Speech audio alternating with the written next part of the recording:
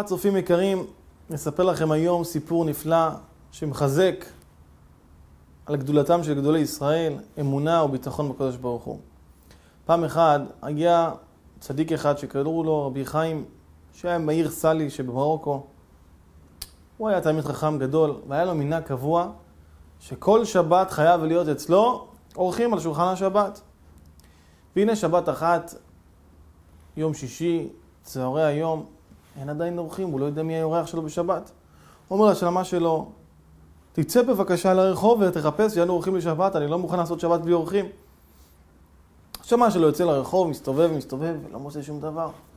חוזר הביתה, אומר הרב, כבר כנראה כולם בהכנות לשבת, אני לא מוצא אף אחד. אומר לו הרב, אני רוצה אורח לשבת, בבקשה תלך תסתובב בכל מקום אפשרי, ואני רוצה אורח לשבת. עוד פעם יוצא לדרך, מחפש, הולך, עד ממש לכניסה לעיר, מגיע לשם קרוב לבית העלמין, והנה הוא רואה איזה יהודי אחד יושב בצד על הרצפה, ומכונס בתוך עצמו עצוב. אומר לו, רבי יהודי, מה שלומך? בסדר, בסדר. מה אתה יושב פה? בוא, בוא, בוא אלינו שבת, הרב רוצה שתבוא תהיה אורח בשבת. לא, לא, זה מספיק, אני, אני, אני עם הבעיות שלי, עם הדברים שלי. עזוב, הכל בסדר. ניסה לשדל אותו בדברים, למשוך אותו אליו, הבן אדם לא מסכים. חוזר, השמש של הבית של הרב, אומר, נו, איפה אורחים? אומר לו הרב, לא מצאתי. אומר לו, אף אחד? הוא אומר לו, יש איזה יהודי אחד שיושב ליד בית העלמין, מכונס בתוך עצמו, כמה שדיברתי איתו לא מוכן. אומר לו, תגיד לו שהרב אמר שהוא מחכה לך, ובעזרת השם, להשם הישועה. תבוא תדבר עם הרב, ובעזרת השם יהיה ישועות. הוא הלך אליו, אמר לו, הרב קורא לך. אמר, תבוא אליו, תדבר איתו, בעזרת השם יהיה ישועות גדולות. והוא ככה קם בפנים נפולות, בקושי מדבר, נגיע לבית של הרב, שלום שלום, הושיבו אותו, הולכים לבית כנסת, מדברים. ככה מעביר איתו את השבת בשמחה גדולה, כמו שבבית של הרב עושים, עם כל דברי תורה ושירים, סעודה כיד המלך. מוצאי שבת מגיע, אומר לו הרב, נו, מה, מה קרה? מה, למה, למה ככה אתה עצוב? למה אתה כל כך מחשבות, בדיכאון? אומר לו הרב, לא משנה, גם מספיק הבעיות, יש לרב מספיק בעיות, לא משנה. הרב ראה שהוא לא מדבר, אמר, אני, אני אספר לך סיפור שזה קשור לעניין שלך. אמר לו הרב, היה, היה פעם אחת צדיק אחד שקראו לו רבי משה קסטרו. היה רב באיזה מקום אחד, שהוא היה תלמיד חכם עצום, וכל המקום שם ממש הפריח את השממה. עשה שם שיעורי תורה, בתי כנסיות, שיעורי ערב לעובדים וכוללים, ממש הרים את המקום. היה שם איזה עשיר אחד גדול, שהוא היה תומך ברב בכל הפעילות שלו. לרב היה שיעור בשבת מרכזי, שהיו באים אליו מאות אנשים. אחרי השיעור היה מנחה, סעודה שלישית, ובמוצאי שבת היה סעודה רביעית מפוארת ביותר, שהעשיר הזה היה ממש משקיע סעודות כיד המלך לסעודה רביעית. יום אחד אחרי הסעודה הרביעית הזאת, שהעשיר מלווה את הרב לביתו, ובדרך הוא אומר לו, הרב, מה אני אגיד לך, אני, אני קצת אה, דואג. אומר לו, מה קרה? מה, מה קרה, רבי יהודי? על מה אתה דואג? אתה ברוך השם, העשיר, יש לך בנים, עוסקים בתורה, קובעים הזיתים לתורה, ירא שמיים, מה? אומר לו, כן הרב, יש לי תשעה ילדים. ברוך השם, כמו שהרב אמר, כולם עבדי השם, ירא שמיים. אבל התשיעי, הבן שלי הקטן, לא יודע, אני, אני מפחד עליו, הוא לא יוצלח.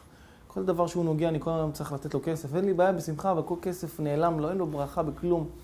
הכל בורח לו בין האצבעות, אני, אני ממש מודאג עליו, אני כבר מבוגר, לא צעיר, אני יודע מה, אני כבר היום כבר יושב להכין צבא בשביל לחלק את הירושה לילדים שלי, ואין לי מושג מה יהיה איתו.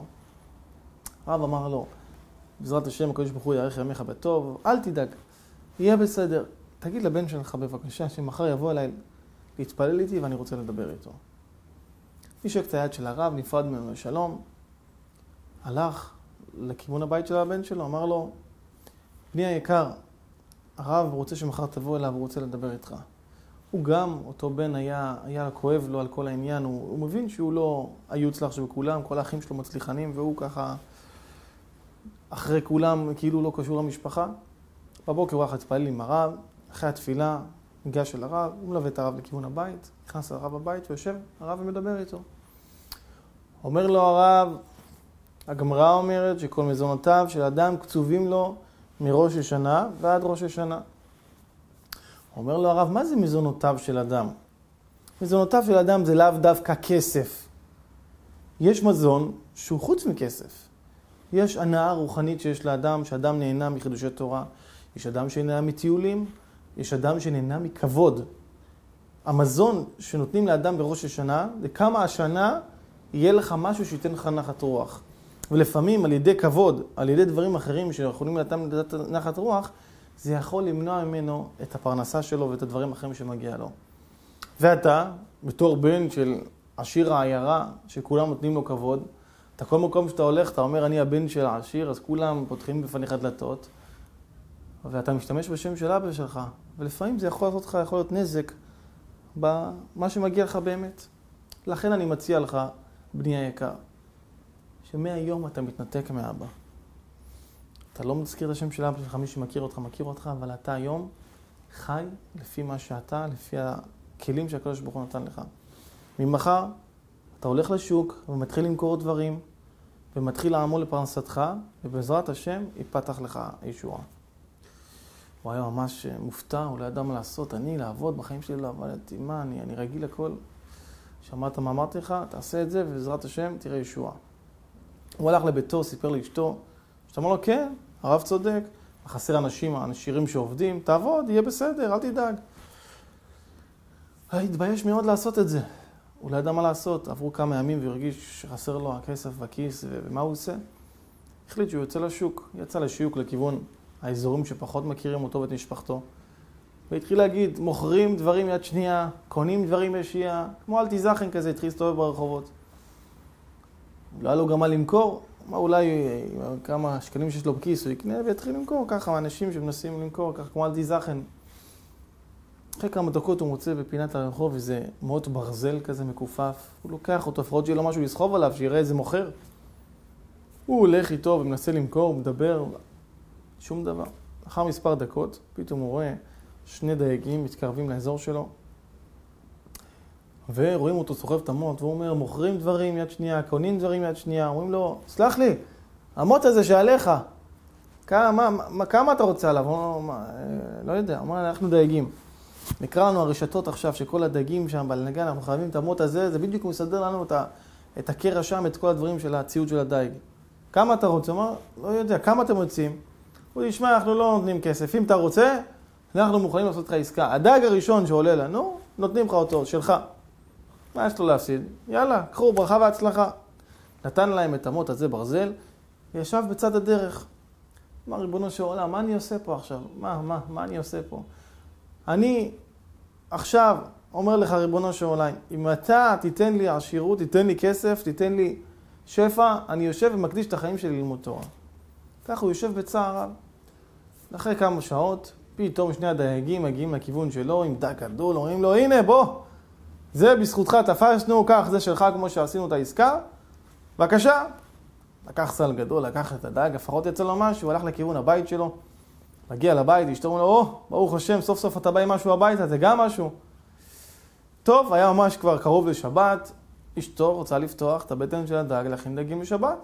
פותחת את, הבטן של הדג, ומה היא רואה בפנים? טבעת יהלום עם שלושה יהלומים מיוחדים. הוא בן של העשיר, הוא קצת יודע מה זה אבנים טובות, מה זה יהלומים. הוא מסתכל על הטבעת, הוא מבין שיש לו פה משהו שווה המון המון כסף. באותו רגע הוא התחיל להודות לקדוש ברוך הוא, אמר ריבונו של עולם, תודה רבה. הלך ופדה את זה ככה רק כמשכון בשביל משהו שיהיה לו קניות לשבת. קנה, עשה שבת כיד המלך, הלך אחרי שבת, פדה את הטבעת הזאת בהמון המון כסף, והקדיש את חייו לתורה מצוות אצל רבי משה קסטרו בישיבה שלו למד כל ימי חייו. זה הסיפור שרבי חיים סיפר לאותו יהודי שהוא אסף אליו לשבת. ואותו יהודי יושב אצלו, הוא מנענע את ראשו ואומר לו, הלוואי הרב, הלוואי שגם אני אהיה ככה. עכשיו הוא התחיל לדובב אותו, התחיל לדבר, הלוואי, אני גם, אם אני אקבל כסף, אני אקדיש את החיים שלי לתורה למעשים טובים. נו, מה קרה? תספר לי. אני אגיד לך, הרב, לפני עשרים שנה, לפני עשרים שנה אני יצאתי מהעיר שלי לעסקים, ועשיתי שם ממש עסקאות גדולות ביותר. קניתי אחוזות ובתים והשתקעתי שם. הייתי עשיר גדול מאוד. יום אחד החלטתי שאני בא לפה, לעיר סאלי, לעזוב את העיר שמה, והחלטתי שאני בא לפה. מכרתי את כל מה שהיה לי וקניתי כמה יהלומים קטנים שווים הון רב, שמתי אותם בתיבה קטנה. טוב, אני עולה על סיפון האונייה, יוצאים לדרך, מגיעים לנמל של סלי פה, והנה איך שאני בא לרדת מהספינה, נתקע לי הרגל ב... בירידה, ועף לי התיבה לתוך המים. באותו רגע רציתי לקפוץ לתוך המים ולאבד את עולמי. באו ותפסו אותי, ראו שאני רוצה לקפוץ, תפסו אותי אנשים ולא נתנו לי, ומאז אני פשוט הולך כסהרורי, ואני לא, לא מוצא מנוח נפשי, אני פשוט לא רוצה לחיות. אמר לו הרב, יהיה בסדר, אל תדאג, בוא איתי. לקח אותו הרב לנמל, איפה שנפל לו המזוודה, אמר לו, תשמע, אני עכשיו עושה משהו, והים יפלוט את כל מה שהוא, יש לו בבטן, אצלו כל מה שנפל בים שם, החוצה לחוף. אני מזהיר אותך, זה בנפשך. רק מה ששייך לך, אתה מרים ולוקח. טוב, הרב הולך איתו לשם, הרב עושה מה שעושה, מתפלל, אומר כמה מילים, והים פתאום מביא גל אחד, זורק את כל מה שיש לו בבטן למטה, שנפעל במהלך השנים, זורק הכל החוצה. כמויות של אבנים טובות, של כל מיני אוצרות, דברים. אותו יהודי הולך, מסתובב, מסתובב, ואומר, הנה, הנה התיבה שלי. הולך, מרים כמה דברים, לוקח את התיבה שלו, הרב אומר, זהו, זה שלך? הוא אומר, כן, הרב. הרב אומר עוד כמה מילים, בא גל, שוטף את הכל בפנים לתוך הים. לקח אותו לביתו, חזר לו החיוך לפנים, אומר לו הרב, נו, ועכשיו מה? אומר לו הרב, אני עכשיו איתך משקיע את עצמי לתורה, למצוות ולמעשים טובים. יש לי פה כסף, אכלכל את עצמי לתרום, לעזור ולבנות. וככה באמת אותו יהודי סיים את חייו באמת בתורה ויראת שמיים. אנחנו רואים מה זה גדולתן של גדולי ישראל. איך בכוח הפה שלהם, בכוח התורה שלהם, יכלו לעשות דברים כאלה מופלאים. איך הם ידעו לעודד את, ה, את האחר, לתת לו את המילה הטובה שהוא צריך לשמוע, לדחוף אותו, שיעשה דברים בשביל שעל ידי זה יצליח.